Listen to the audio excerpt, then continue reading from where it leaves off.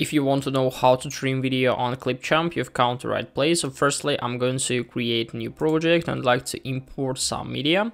And what if we want to interact with this video, for example, and we want to trim it for a little? Do we have a solution? Yes, of course. So firstly, we need to open it on our timeline. And after that, as you can see, we have these corners here. If you'll click on them and we'll drag somewhere, we can find it with the help of these corners, we can simply change the duration right up here. And from the beginning, also the same feature here.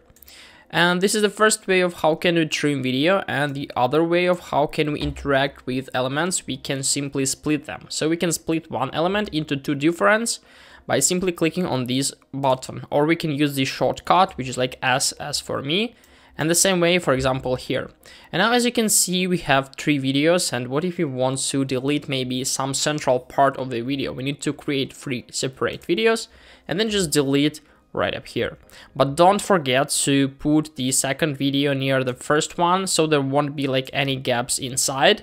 This is the way. And as you can see, we can still interact with corners even if they are not at the beginning or at the end of the whole project.